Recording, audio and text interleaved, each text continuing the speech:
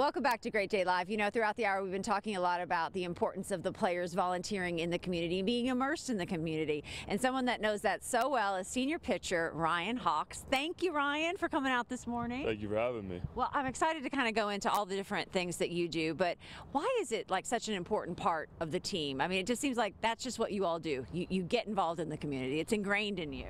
Yeah, so it's a it's a staple in our program. Uh, Coach Mack really encourages us to be active in the community, and you know, because they're they're so big for us that if we're able to give back to them, it's it's huge for us. Well, let's talk a little bit about some of the things that you're involved with. Not now during the, the season. It's usually what coming up off season, right? Correct. Yeah.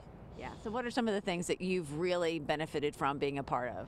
So my freshman year, we had a uh, team trip down to the Dominican Republic, and uh, that was that was a really great experience. We got to do a lot of cool stuff, help out a lot of people. Mm-hmm. So that one was it was a really eye-opening experience too, getting to see you know how other people live and how fortunate we are here in the great city of Louisville. So it was a really awesome experience. I'm really glad we did it. And that trip, that's something that you all do like every five years every four four years that you all do. So that'll be coming up again. You won't get to go this fall, you know, but what is it about going down there for the first time and, and just seeing the, the great work you can do? I mean, it's it's just a really heartwarming feeling because um, obviously you go down there and it's it's totally different than what you'd expect. It, it, looks nothing like the you know the resorts and stuff like that, and so having the ability to impact others is huge for us, and it's just something that we all really enjoy doing, and you know really helps us more than it helps them, honestly. Yeah. I got really caught up in your all social media feed this weekend. You had some kids from Kosair, Shriners that you were helping down in Houston. I mean, just the involvement even during the season a little bit. I mean, these are these are kids you all get to see again and again. Yeah, for sure. I mean, it's it's just it's awesome uh, getting to impact other people's lives and you know really just making an impact. It's, yeah. it's awesome.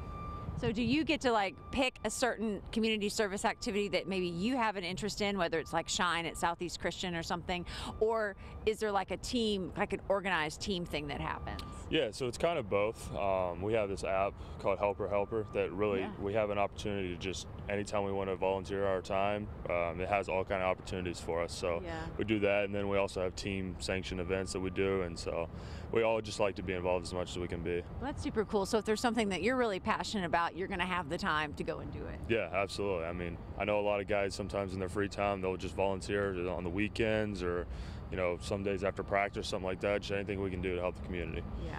Um, well, that's just wonderful, and we thank you all so much for your, what you're doing. So you're a senior. Do you are you looking out ahead into the future to see what is next for you? What are you thinking?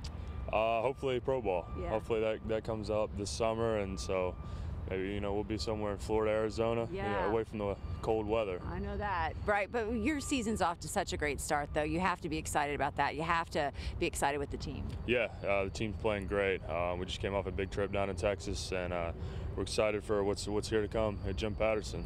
All right. Well, thank you so much for taking the time this morning, and and keep up the great work. All right. Thank you. All right.